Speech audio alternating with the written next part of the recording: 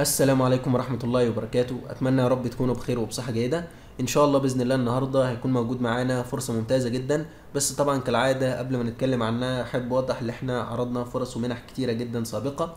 ودي القناة بتاعتنا هتلاقوا عليها كل الفرص والمنح اللي تم عرضها.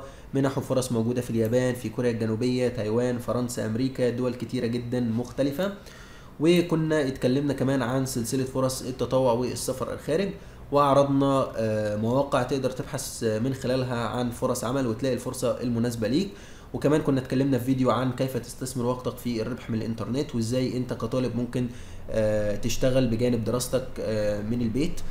وكنا اتكلمنا كمان عن فرصة التقديم والقبول فيها حصريا عن طريق قناتنا وهي كانت فرصة تطوع في فيتنام شاملة معظم التكاليف. وتم الإعلان عن الفائزين في هذه الفرصة. وإن شاء الله بإذن الله هيكون موجود معانا فرص قادمة التقديم والقبول فيها حصريا عن طريق قناتنا.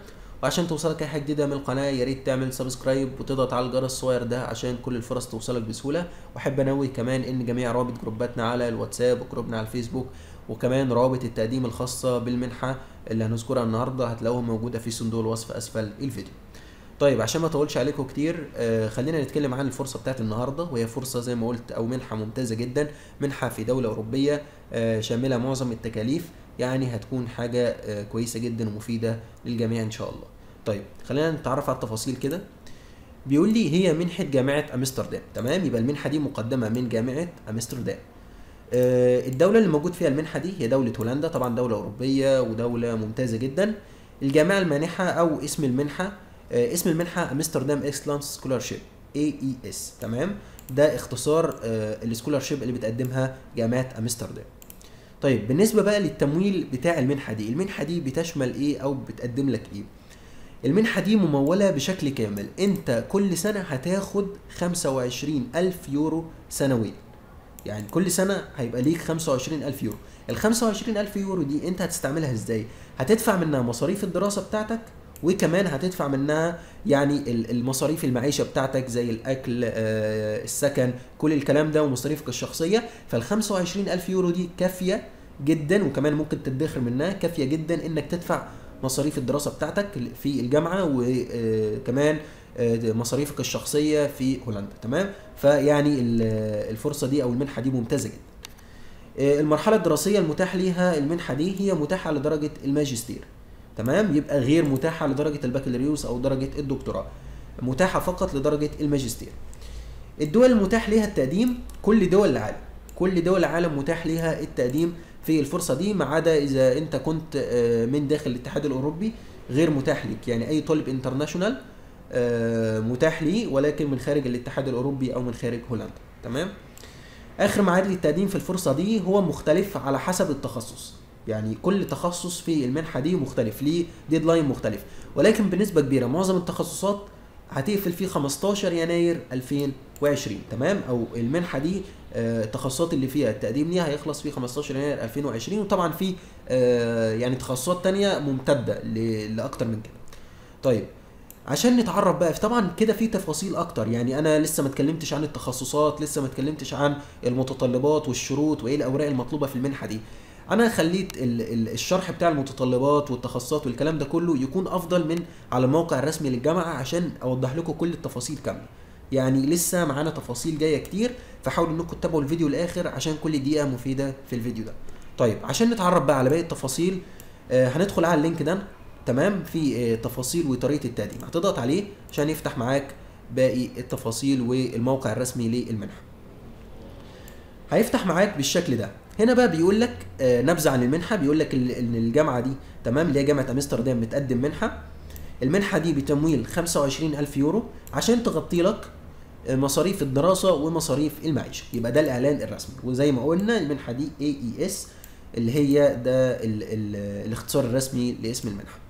طيب تعالى التخصصات. المنحة دي بتتكفل بتخصصات إيه؟ قال لي كل التخصصات اللي بتقدمها الجامعة بتاعت جامعة أمستردام كل التخصصات الموجودة في الجامعة انت متاح ليك التقديم عليها. يعني مثلا زي تخصصات كوميونيكيشن الاقتصاد آم، الحقوق العلوم في تخصصات كتير. وطبعا مش دي التخصصات الأصلية. يعني كل كلية من دول فيها تخصصات فرعية. يعني على سبيل المثال مثلا لو دخلنا على ال- الحقوق مثلا تمام؟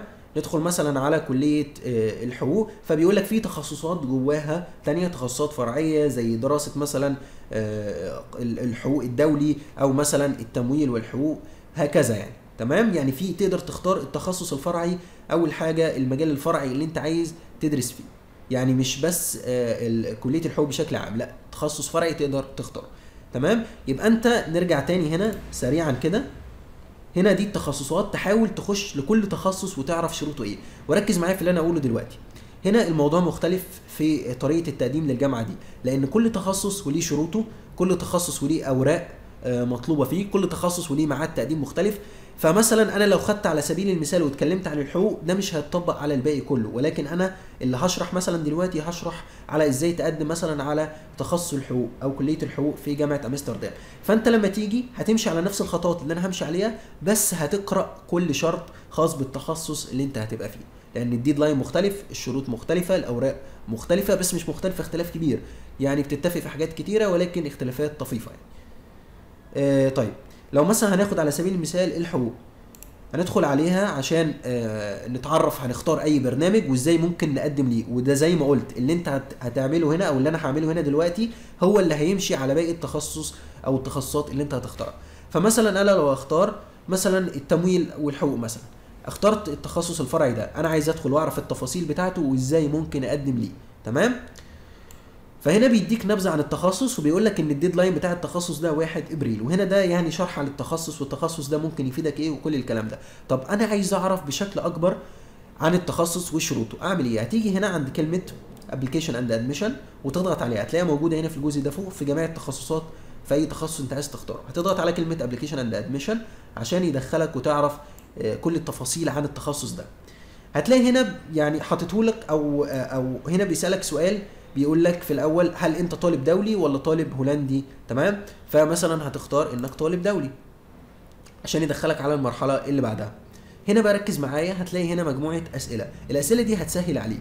يعني بيقول لك إزاي ممكن تقدم؟ تمام؟ إزاي أنت ممكن تقدم للمنحة دي أو للتخصص ده وإيه الشروط؟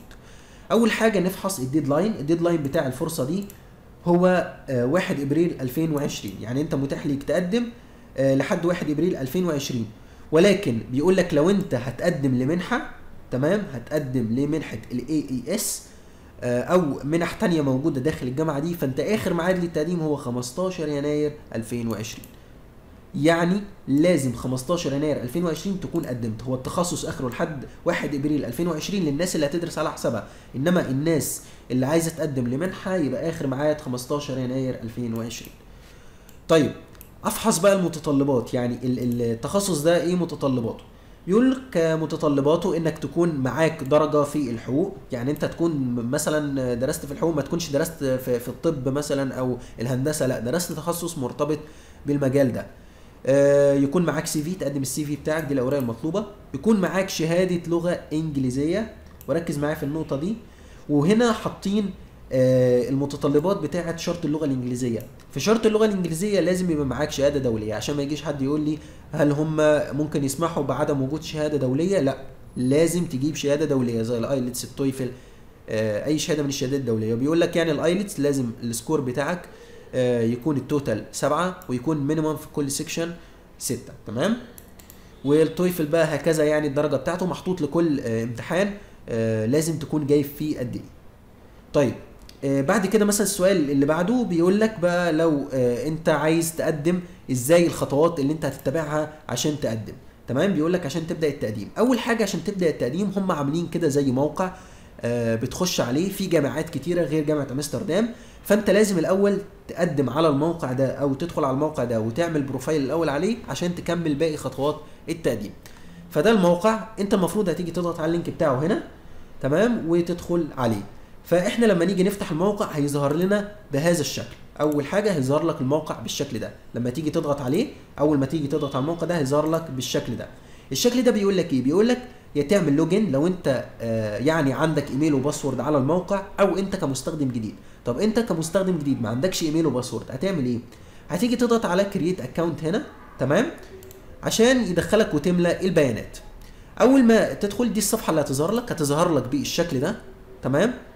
فيها آه، حوالي أربع خانات أنت مطلوب منك إنك تملاهم. في الأول بيسألك عن آه، يعني معلوماتك الشخصية اسمك آه، الجندر بتاعك تاريخ ميلادك الجنسية بتاعتك الدولة اللي أنت قاعد فيها وهكذا.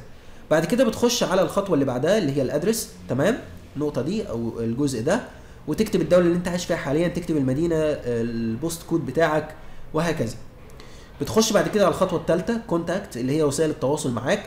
وتكتب الإيميل بتاعك. لازم تكتب الإيميل ده صح عشان هتوصلك رسالة على الإيميل. وتكتب ال password. وخلي بالك إن ال password بيحتاجوا فيه تكتب أرقام وتكتب كمان حروف آه إنجليزية. يكون فيها آه حرف capital وحرف سمول وكمان تكتب special alphabet يعني تكتب آه حروف خاصة. زي مثلا تكتب علامه مثلا الشباك دي. أو مثلا تكتب ال percent 100 آه اللي هي 100% مثلا. أو هكذا. يعني تحط علامة special تمام؟ وهنا تكتب رقم التليفون بتاعك وبعد كده تضغط على كلمة next تمام؟ هيدخلك بعد كده ويقول لك هل متأكد إن البيانات دي بتاعتك صح؟ فبتضغط هنا بتعلم هنا على الجزء ده وبتعلم على الجزء ده وبتعمل create account طيب أنا كده يعتبر عملت create account إيه اللي بيحصل؟ في بقى دلوقتي لما بتضغط على كلمة create account بتوصلك رسالة على الإيميل بتاعك. الرسالة بتكون بالشكل ده تمام؟ الرسالة هتوصلك هتكون بالشكل ده. الرسالة دي بيقول لك إيه؟ بيقول لك فيها كود تفعيل أو رابط تفعيل لازم تضغط عليه عشان تفعل ال account بتاعك وعشان تقدر تفتح ال application. فأنت عشان تفعل ال account بتاعك هتيجي تضغط على آه، ال link التفعيل ده اللي هو activate account تمام؟ فأنت لما تفعل ال account بتاعك هيظهر لك الصفحة بالشكل ده. آه، طبعا لازم تعمل تسجيل دخول هنا بال email وال password اللي أنت آه، سجلتهم تمام؟ يبقى لازم تحط الإيميل اللي أنت سجلته وال password هنا وبعدين تضغط على كلمة login تمام؟ لما تضغط على كلمة login هيفتح لك الصفحة بهذا الشكل. ده بقى ال application. تمام؟ إن المفروض أنت هتكمله آه وبعد كده هنشوف باقي الخطوات. طيب أول حاجة هنا مطلوب منك إنك. يعني تأكد البرنامج أو تختار البرنامج اللي أنت عايز تدرسه في هذه الجامعة. آه، أول حاجة أنت بتبحث هنا عن البرنامج لأن أنا زي ما قلت الموقع ده خاص بجامعات كتير جدا في هولندا. فبالتالي أنت لازم تختار إنك مثلا عايز جامعة هنا أمستردام وإنك مثلا عايز تخصص law and finance تمام؟ يعني اللي هو التمويل والحقوق. فانت بقى بتعمل search هنا على التخصص ده وهنا بيظهر لك كل ال results يعني كل النتائج بتاعه البحث بتاعتك في جامعات مختلفة. لو جينا بصينا في آخر بحث هنلاقي فعلا ده التخصص اللي إحنا عايزينه آه، في أمستردام جامعة أمستردام تخصص الماستر آه، تمام؟ في درجة الماستر في تخصص الحقوق والتمويل. فأنا خلاص عايز أقدم للبرنامج ده تيجي تضغط على كلمة select هنا عشان تخش على الخطوة اللي بعدها. هنا مح- محتاج منك التفاصيل أكتر آه، عن البرنامج. يعني هنا بيقول لك آه، أنت اخترت البرنامج ده واخترت التمويل هل موافق إنك آه، تبدأ من السنة الأولى؟ تمام. هتبدأ مثلا في 1 سبتمبر 2020 فتقول له تمام وبعد كده تضغط على كلمة سيف دي أو يعني خلاص أنت مأكد. وبعد كده تضغط على كلمة نيكست عشان يدخلك على الخطوة اللي بعدها. طيب هنا هيفتح معايا فبيقول لي هنا ما عندكش أي رسالة أو أي أسئلة أنت ممكن تجاوب عليها دلوقتي تضغط على كلمه next عشان تخش على آخر حاجة وهي ال confirm أنت كده أكدت البيانات بتاعتك وأكدت التخصص اللي أنت عايزه. تمام؟ وبعد كده تضغط عليه علامة صح وتضغط على كلمة confirm لما تضغط على كلمة على كلمة confirm كده أنت يعني بالتأكيد فعلت الإيميل وكده أنت قدمت ليهم. فبيقول لك إيه؟ بيقول لك تمام يعني أنت كده خلاص تم التسجيل ال application طيب إيه المراحل اللي المفروض بقى هتحصل بعد كده؟ بيقول لي بعد كده هيوصلك كود في خلال 24 ساعة. يعني في خلال 24 ساعة تمام هيوصلك كود. اللي هو هنا في في في برضه شرح هنا آه، مفصل أكتر. وهنا هتلاقي التفاصيل أهي تمام بيقول لك في خلال 24 ساعة يعني دي الخطوة الخامسة. هيوصلك آه، كود تفعيل. الكود ده انت هتسجل بيه دخول أو ال application ده انت هتبدأ تدخل ليه وتبدأ تملى بقية البيانات. يعني في بيانات إضافية بسيطة آه، وطبعا تحمل الأوراق بتاعتك اللي هي زي ال CV مثلا زي شهاده اللغة وتحملها وتحطها هنا. آه، طبعا بيقول لك في رسوم آه، للتقديم للجامعه الرسوم دي 100 يورو. آه، طبعا هي دي جامعة آه، ونفس system التقديم بي- بيسري على الناس اللي بتقدم منحة والناس اللي بتقدم بشكل طبيعي آه، من غير منحة. فبالتالي انت ال 100 يورو دي انت مطالب بيها سواء انت بتقدم للمنحة أو آه، انت بتقدم عادي للجامعة تمام؟ من غير منحة. آه، واصلا انت لما بتتقبل في الجامعة خلاص بيتم تلقائي احتسابك على المنحة بتاعت ال AES طيب زي ما كنا وضحنا دي الأوراق المطلوبة هتعمل motivation letter بحد أقصى 500 كلمة هتعمل آه، هيكون معاك شهادة اللغة تمام؟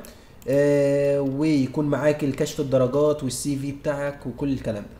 ولو شهادة اللغة بتاعتك مش متوفرة معاك في الوقت الحالي أو لسه أنت مثلا هتعمل شهادة اللغة تقدر إنك مثلا ترفق شهادة اللغة فيما بعد.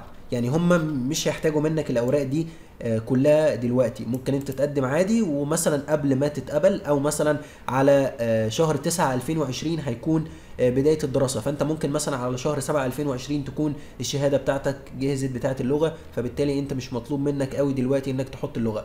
يعني كانت معاك الشهادة تمام. ما كانتش معاك تقدر إنك تجهز نفسك من دلوقتي وتعمل شهادة اللغة. بعد كده بقى بيقول لك دي باقي التفاصيل. بعد كده أنت بتستنى يجي لك الرد بقى بالقبول أو الرفض. آه، بعد كده بتجهز الأوراق بتاعتك تبعتها لهم. الأوراق بتبعتها في شكل hard copy تمام للعنوان ده.